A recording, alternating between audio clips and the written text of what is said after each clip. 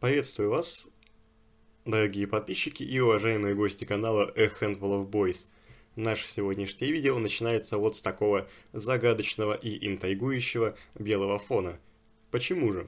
Дело в том, что достаточно давно, где-то месяц назад, э, на нашем канале выходило видео о когтях Императора, кустодианцев в килтиме и о том, как за них играть. Ссылка на него будет, если что, в описании. И в конце этого видео я обмолвился о том, что если это видео наберет 25, просто 20 лайков, то я запишу видео под названием «О всех фракциях килтима за 25 минут». Недавно я решил проверить успехи, соответственно, когтей Императора и обнаружил, что лайков там куда больше 20, и понял, что пора потому что, как говорится, канал у нас называется в переводе «Кучка пацанов» или «Горстка пацанов», а, как говорится, «Пацан сказал, пацан сделал». Поэтому мы сегодня здесь, на таком гигантском и грандиозном проекте «Все фракции» и мое странное мнение о них. Небольшой дисклеймер о том, что это вообще такое и как это будет происходить. А, я пройдусь по всем представленным на данный момент фракциям, раскидаю их по так называемому тир-листу и дам какие-нибудь краткие пояснения об их механиках и о том, как они себя вообще ощущают. Небольшое пояснение по тиру. У меня тут табличка такая, состоящая из э, пяти, получается, ступеней, из которых S — это самые такие no-brain сильные, топ-имба, near please и все такое, и все в таком духе. А, соответственно, это сильные команды, но которые требуют небольшого все-таки усилия, чтобы побеждать, да, они на ступень ниже э, S команд. Далее B. В целом неплохие конкурентоспособные, но уже приходится, так сказать, э, стараться и прикладывать усилия.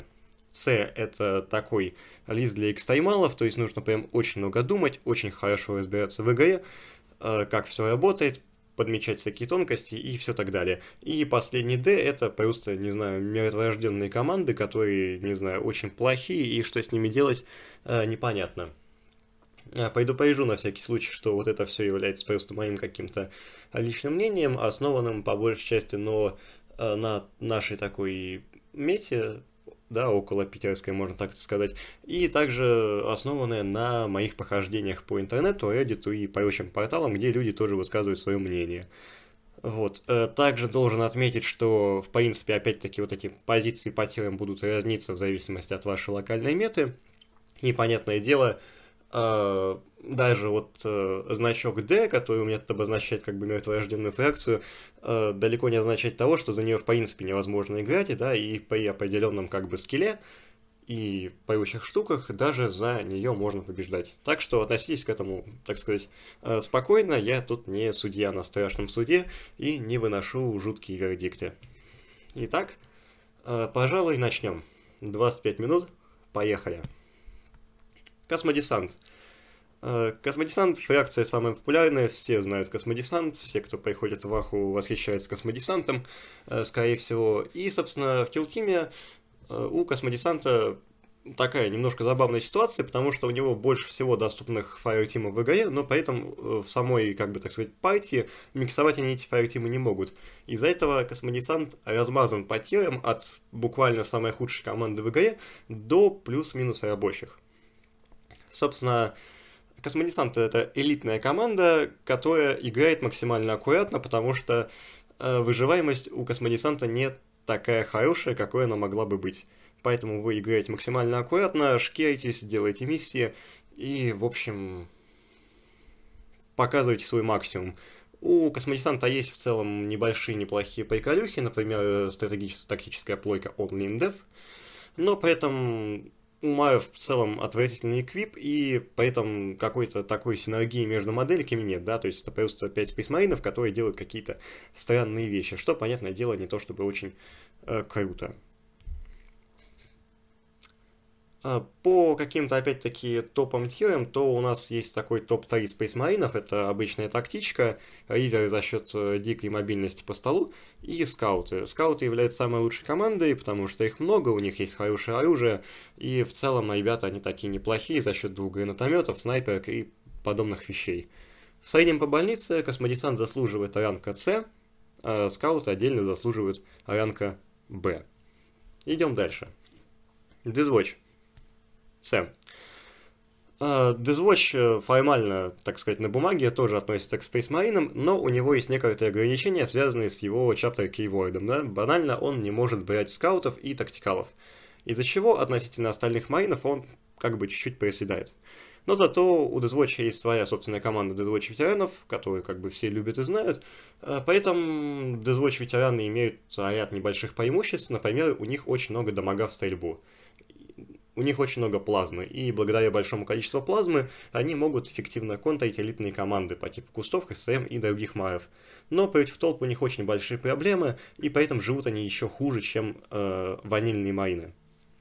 В итоге как бы их избранный тип геймплея превращается в такую э, игру, вышел из-за стенки, пострелял, подешился обратно. Так играет Deathwatch. Э, увы, фракция не в топе, хотя мне бы хотелось видеть ее в топе, но тем не менее, где есть, там и есть. Серые рыцари. Серые рыцари, наверное, из космодесанта самые лучшие на данный момент, из, из лояльного космодесанта, и уверенно занимают позицию в Б. Э, Потому что если остальные марины вынуждены выбирать между сильным ХТХ и сильной стрельбой, все рыцари объединяют и то, и другое сразу, и поэтому имеют еще дополнительный бонус в виде психосил. Помимо крутых психосил, которые позволяют им дамажить и жить, у них еще есть много всяких интересных приколюх в Strategic Ploys. Например, из АКП вы можете стать, в принципе, для противника невыцеливаемым. Да, а это, как говорится, Здорово. Помимо этого есть много всяких приятных, полезных бонусов по типу эквипа на бесплатную психосилу, которая очень часто пригождается.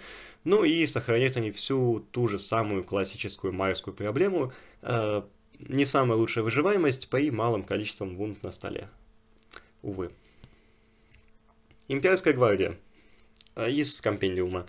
А, собственно, скажу в начале, если вы набираете по компендиуму обычных гвардейцев, то эти гвардейцы всегда хуже ветеран гвардии, о которой мы поговорим на следующем слайде. Поэтому компендиумная имперская гвардия крута своими сционами, потому что сционы лучше гвардейцев. У сционов много спешалов, сционы могут круто делать миссионные действия, потому что не делают их бесплатно, и помимо этого у вас есть э, связист, который делает из двух ваших сционов э, космодесантников. И также на вас действуют э, приказы нормально, а не так, как они действуют на компендиумную гвардию, на компендиумную гварду. Вот. А, тем не менее, у вас есть еще вариант миксовать сионов и обычных гвардейцев, чтобы получить максимум спешалов, да, то есть так у вас будут две плазмы, э, две мельты, два гранатомета и прочие штуки. Э, поэтому геймплей за гвардию достаточно веселый, вы этакая стеклянная пушка с большим количеством хорошо дамажащих моделей, но которые сами живут не так хорошо. Ветеран-гвардейцы из Актариуса. Э, заслуженный А-тир, собственно, почему? Во-первых, у вас 14 бомжей, то есть очень много, и поэтому э, эти бомжи очень хорошо, так сказать, верифицированы, да, то есть у вас есть ребята, которые скорят точки, у вас есть ребята, которые наносят дамаг, и есть ребята, которые бафают дамагеров, то есть энергия. В целом этот килл-тим пронизывает с ног до головы. Помимо сильных стратегем, у вас есть еще и бесплатные приказы, которых нет у компендиумной гвардии. У вас есть очень мощные тактические плойки, например, In Atonement. У вас очень классный эквип, который взаимодействует прям э, с коровыми механиками игры по типу инициативы. У вас есть ужасный снайпер, который, в принципе, ваншотает любую модельку при должном раскладе. И вообще, при грамотной игре ветеран гвардии выносит все, что угодно вперед ногами со стола. Но, чтобы выносить все вперед ногами со стола, нужно чуть подумать, поэтому они не в С, а всего лишь в А. И важный момент, ветеран-гвардейцы это не обязательно криговцы, имейте это в виду. Hunter Clays. Uh, Kill Team Adeptus Mechanicus из White Dwarf. Обладает неплохой стрельбой с рейнджеров и вангардов и неплохим ХТХ э, с сталкеров и инфильтраторов. Из такой главной механики у них есть доктрины императивы, которые добавляют новый пласт тактики и бонусов, так как они бесплатные. Есть очень классная стратегема на инфильтру, непосредственно инфильтраторы где-то в киллзоне, потенциальные чарджи на первый ход э, и уничтожение ключевых оперативников врага. Но при этом это картонные модельки при достаточно маленькой численности и ограничениями по муву у рейнджеров, из-за чего они находятся всего лишь в Б, хотя могли бы быть и выше. Uh, Forge World — это мехи из компендиума. Забавная ситуация, что набор юнитов у них точно такой же, как у Hunter Клейда, но поэтому Forge World во всем хуже из-за того, что у них нет бесплатных императивов, у них не такие крутые тактические плойки, не такие крутые стратегические плойки, и вообще лучше всегда брать Hunter Clade, а Forge World находится где-то э, в C, увы. Послушницы сестер или навятки из компании Челнат. 10 хрупких девчонок — а, с очень сильной механикой Faith Point, то есть очки веры. По сути, это дополнительные КП и доп. стратагемы, которые позволяют вам э, уничтожать рандом на подходе к вам. Э, вы, по сути, попадаете всегда все, когда хотите попасть, и сейвите всегда все, когда вам это нужно. Э, из каких-то минусов немного туповатые вторичные миссии, которые заставляют вас умирать, и в целом сложный геймплей. Но так-то команда очень сильная, если уметь применять все ее фишки и грамотно разыгрывать э, очки веры, поэтому эта команда отличный выбор для тех, кто любит напрягать мозг и получать за это хорошее вознаграждение в виде первых мест на турнирах. Поэтому заслуженно находится ва. Обычные сестры в 3 плюс из компендиума.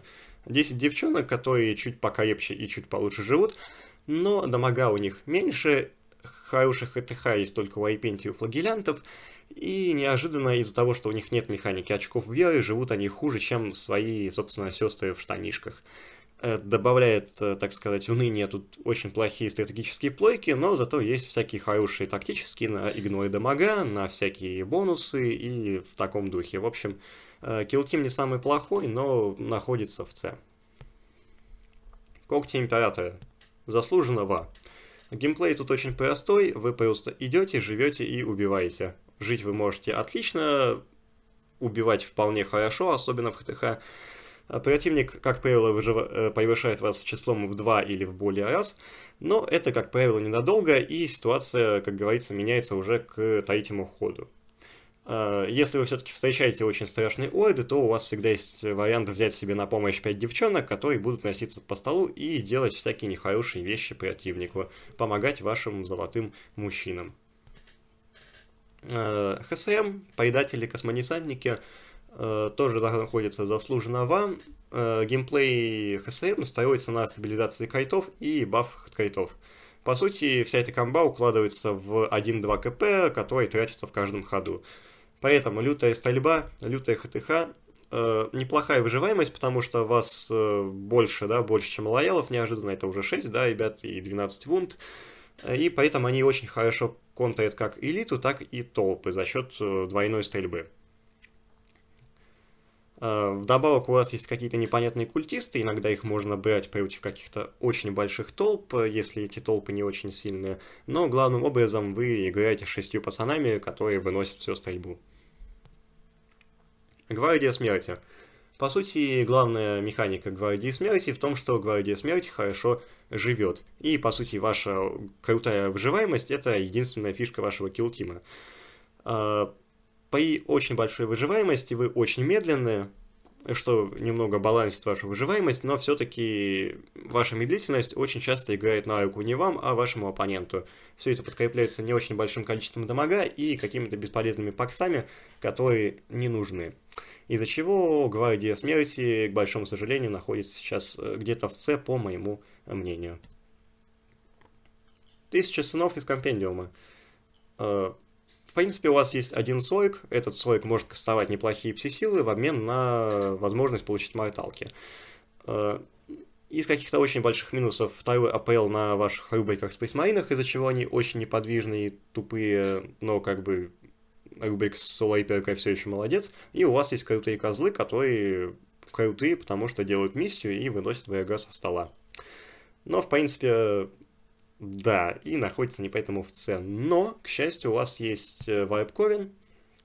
Э, Вайпковин это прапанная версия тысячи снов, поэтому у вас 3 сарка вместо, вместо одного, 9 костов вместо 4, у вас э, больше возможностей миксовать козлов и рубриков, что делает вас э, очень гибкими, и вы можете подобрать идеальный состав против любого матчапа. У вас больше бафов на рубриках, из-за чего те начинают чувствовать себя как нормальные спейсмарины, а не как не пойми кто с э, хорошими болтерами. Очень крутые плойки, в принципе, на все случаи жизни, и очень легкие вторички, которые гарантированно приносят вам 4 виктори поинта в игру. И козлы все еще лютые. ко всему прочему. Заслуженно находится в А, э, в С не попадают из-за немного сложного геймплея и уязвимости сороков. Демоны хаоса. Э, непонятные создания из вайпа, созданные хаоситскими богами. Собственно, в килтиме они представлены свалкой низших демонов всех богов, но поэтому в команду миксовать можно только двух богов за раз, да, и поэтому чаще всего это Дзинч, который кидает фаерболы и кость врага в стрельбу, и Кхорн или же Слонеж э, для ХТХ. Э, что лучше Кхорн или Слонеж вы определяете, исходя из того, какой на поле террейн и какие вы хотите делать миссии – в целом Килтим неплохой, потому что у него есть хорошая стрельба с дзинчевых демонов, и в целом очень хороший ХТХ, что с Хойна, что со Слоанеша.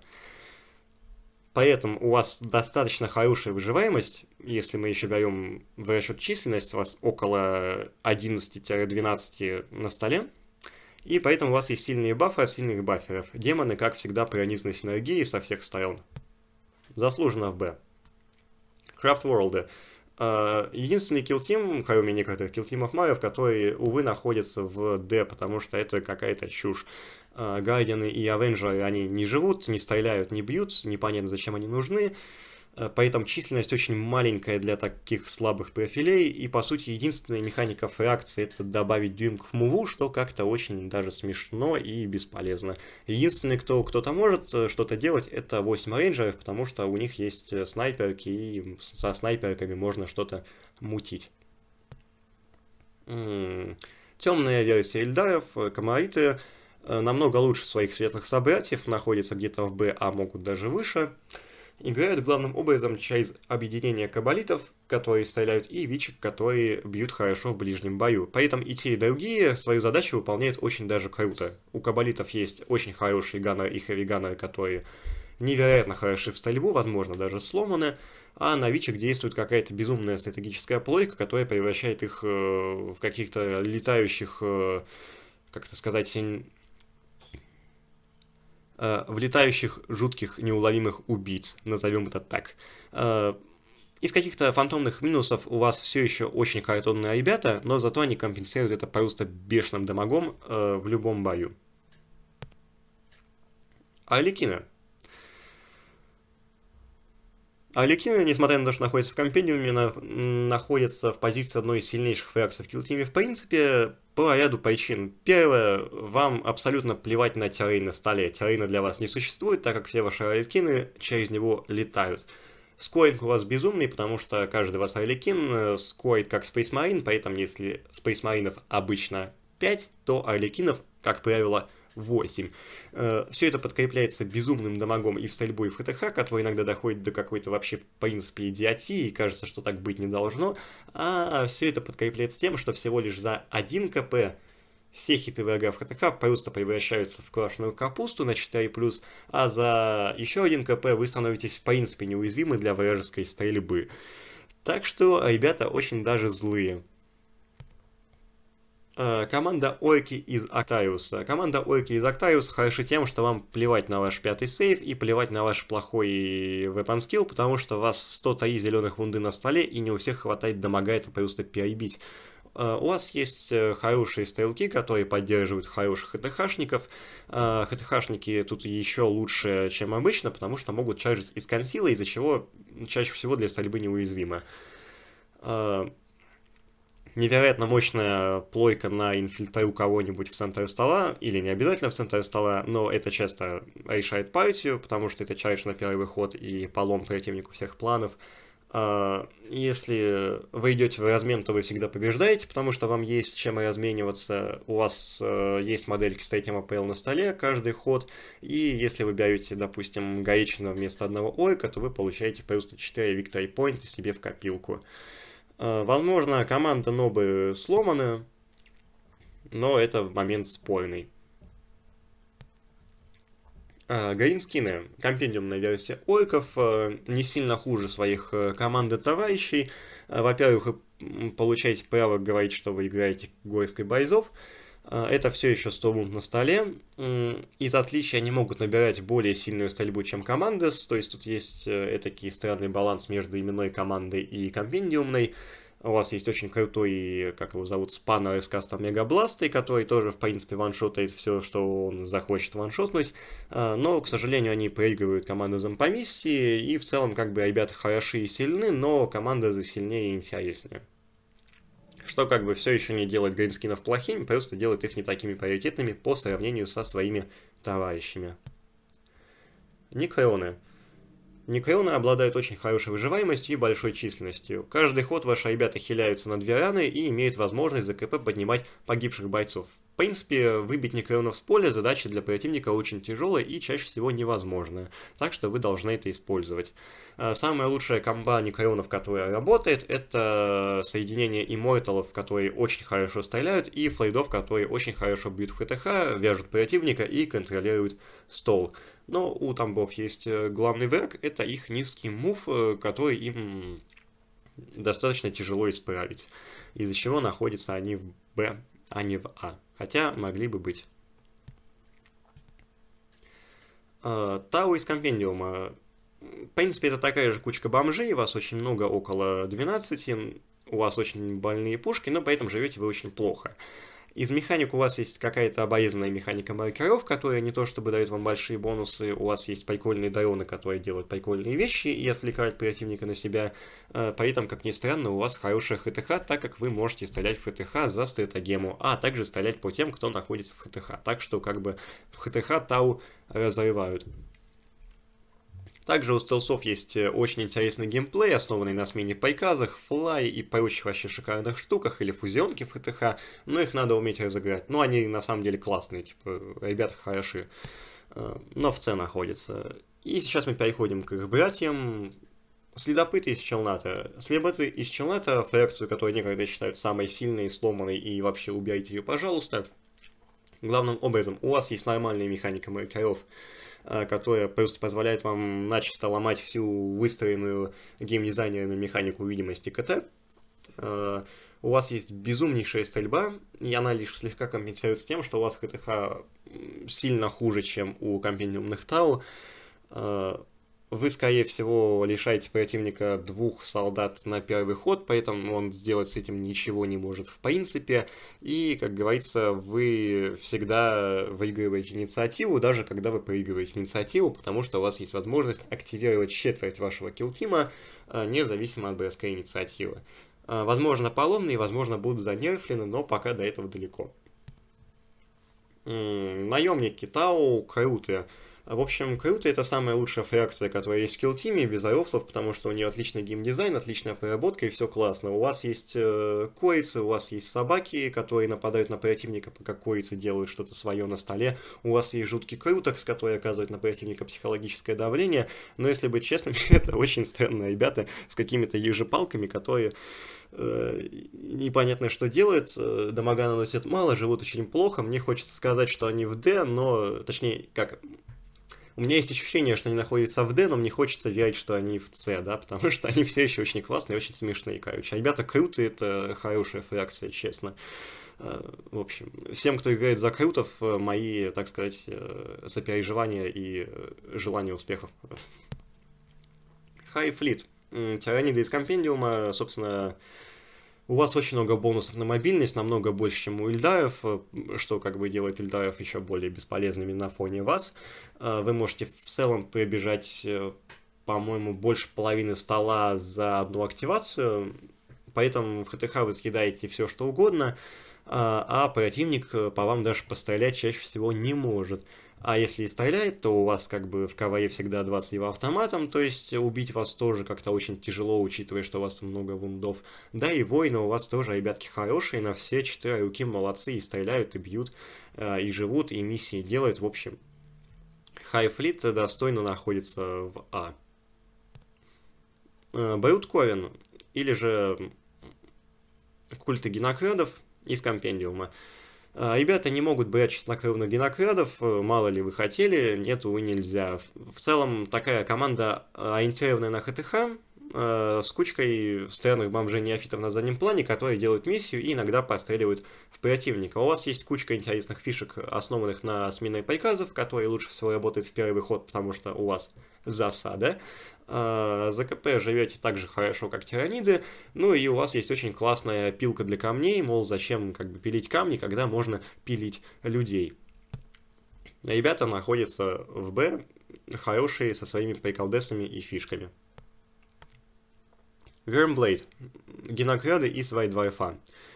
В целом очень похоже, вы не можете брать метаморфов и акалитов, зато можете брать элитных чаров, то есть келиморфа, локуса и два вида санктусов, а также вы получаете в бонус право шутить ковбойские шутки. Э, геймплей Вермблейда строится, как мне кажется, на хорошем альфа-страйке на первый второй ход и очень сильных персонажах, которые сильно мутузят противника, в принципе, всегда. У вас есть очень большое количество моделей на столе, что позволяет выполнять широкий спектр задач, как миссионных, так и по уничтожению противника. У вас есть, э, помимо этого, кучка всяких неожиданных приколов, микроменеджмент, там, бафы раздать туда, бафы раздать сюда, прикопать проход здесь, перехватить в ХТХ там, почарить два раза одним и тем же чуваком, заинфильтрить чувака в середину стола, сделать просто ящики и всякий мусор на столе обскиллом и так далее. Ну и, конечно же, у вас очень легкие миссии, то есть если вы берете Vermblade, вы берете 4 Victory Point себе в карман. Так что, ребята, находятся в А, до S они чуть не дотягивают из-за общей картонности модели и их хрупкости. Итак, неожиданно на этом все. Вроде в 25 минут я даже уложился, э, так что слово свое исполнил. Что могу сказать наконец? Э, большое спасибо, что посмотрели это странное видео. Как говорится, ставьте лайки, пишите комментарии, делитесь видео с друзьями и обязательно, как говорится, в комментариях пишите свое мнение, согласны ли вы с э, моей ранжировкой фракций по тирам, да, возможно, я опять-таки что-то упускаю, или у вас в мете есть какие-нибудь другие необычные открытия, допустим, да. Э, мне это будет очень интересно почитать. Э, тем более у нас, может быть, скоро будет видео с аналитикой о том, как э, новый Kill Team себя чувствует спустя полгода, и мы ваши идеи туда обязательно, как говорится, запихнем. Так что еще раз большое спасибо, что были с нами. Еще раз напомню вам, что вы подписались на канал, потому что это нас очень сильно поддерживает. И, конечно же, удачи вам во всех наших начинаниях. Играйте в Kill Team играйте в Kill Team теми фракциями, которые вам нравятся, и оставайтесь с нами дальше. Всем удачи, всем пока.